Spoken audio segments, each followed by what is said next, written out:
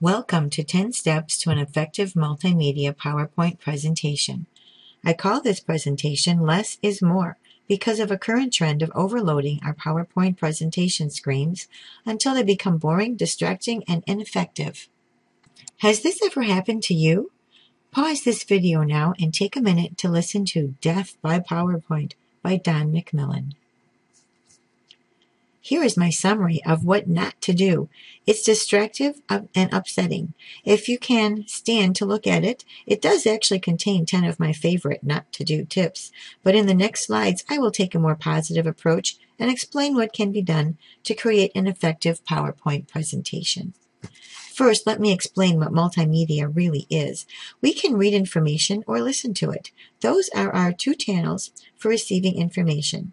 Lessons that are presented using both channels cause the learner to actively process and integrate the two, while also integrating this with their existing knowledge.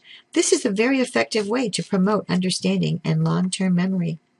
The term visual literacy refers to our ability to do this processing. Instructors can help learners with their visual literacy by reducing the challenge of connecting the information coming in through the dual channels. This will be accomplished by keeping related information close together to save eye scanning or screen scanning to find the related parts. In the following screens, I will present my 10 tips for creating a well-designed PowerPoint presentation. The color schemes you choose subconsciously sets a tone for your presentation. I chose soft blue for the introduction to create a feeling of peace and simplicity. I now choose green as a go color because I'm hoping learners will be inspired to take action here. Humans can only process so much new information at a time, so it's wise to break learning into chunks. Also, humans can only focus on so many visual and audio signals at a time, so I chose simple text and only my voice as audio.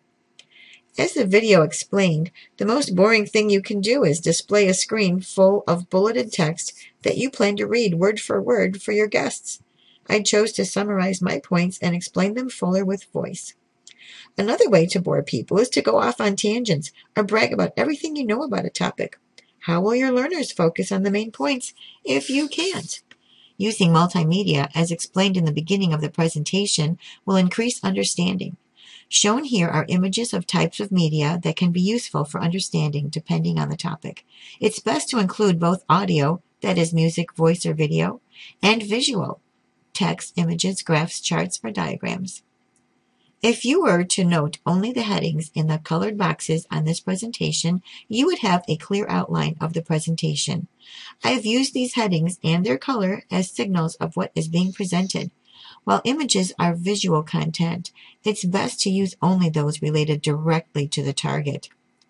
Visual literacy is improved if voice is used to explain charts and graphs to avoid requiring learners to scan from text to the chart in order to make connections. Nothing drives a point home like inviting learners to critique, improve, or summarize a lesson. All this invitation to add visuals and audio to a PowerPoint can create temptation to overload a screen. The danger of overload is that learners have limited ability to absorb it all. As instructors, we must not leave it to the learner to choose what to ignore. We must avoid temptation to include adorable cartoons, meaningless decoration, and choose ways to relate simultaneous information that does not overload cognitive capacity to process. That was a lot of information. Did you notice any errors in this presentation? Did I walk the walk as well as talk the talk? How would you improve it? And most important, how will you remember it? Take a moment to consider how you would answer these questions and feel free to discuss it with someone near you now.